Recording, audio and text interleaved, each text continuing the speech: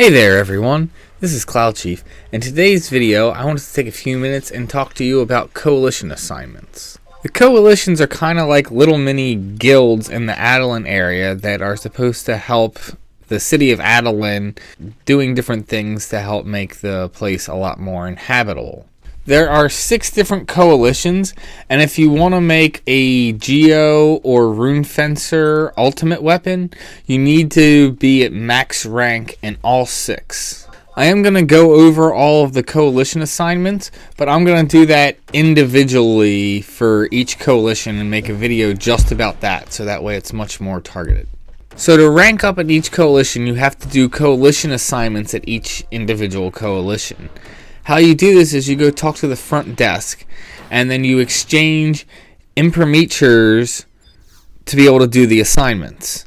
You get when you first start out, you can have a max of 15 and it costs anywhere from 1 to 3 to be able to do an assignment. Choosing to do more imprimaturs at once will actually yield less total bayld than if you went and did them individually. However, you then obviously have to do it three times.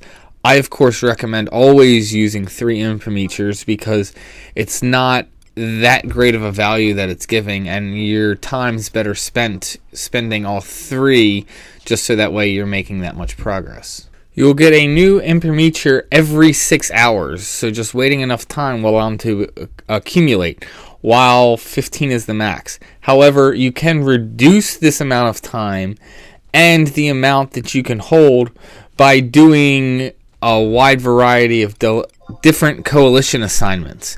However, that takes a lot of time and effort, and by the time you start getting or being able to hold more and get them faster, you're going to be pretty much done. So I don't even recommend trying to go about getting them unless you want to be doing coalition assignments for XP bayld on the side, which isn't necessarily a bad thing to do.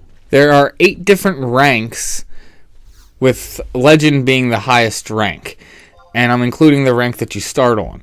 To rank up, you need to have done 20 imprimatur missions, so to speak. So, like, you can hold 15 max. If you do them all at once for one coalition, you would need to accumulate five more and then do five more before you can rank up. However, it needs to be the highest tier coalition assignment available or one tier below it. If you're actually doing missions multiple tiers below your highest rank, you'll actually get less points. So it's best that you're always doing the highest rank or second highest rank, and I will get into this more when I talk about the individual coalitions. A couple more things before I wrap up this video. One is that the XP and bayld that you obtain, you get when you turn in the assignment. So it is completely possible for you to level up a low level character and not do any of the assignments on that job. So you can go do the assignments on your highest level job and then turn around and pick a level 1 job and then go turn in the assignments and you will get XP for your low level job. So if you still need to, you know, level up a character, this is a good way to get some free XP for it. Also in East Adoulin, near the NPC that actually gives you the key item so you can go do skirmish, is a Mithra named Ivan Holm, if I'm saying that right, and she's located at G8. She will tell you the fame that you have in Adoulin. Also, can tell you what rank you are in all the coalitions. So, if you're trying to figure out and you've done a variety of different uh, coalitions and you're not sure what rank you're at at which one, you can go talk to her and she will give you the list all at once rather than having to go to each individual coalition. And that's pretty much it for what I can say about coalitions as a whole.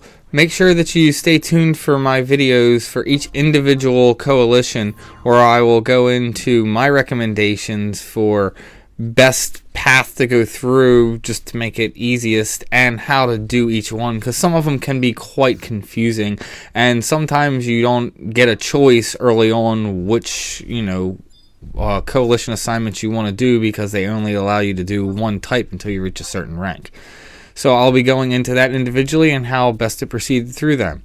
I hope you enjoyed this video. I hope you got some value out of it, and may you have success in all you do.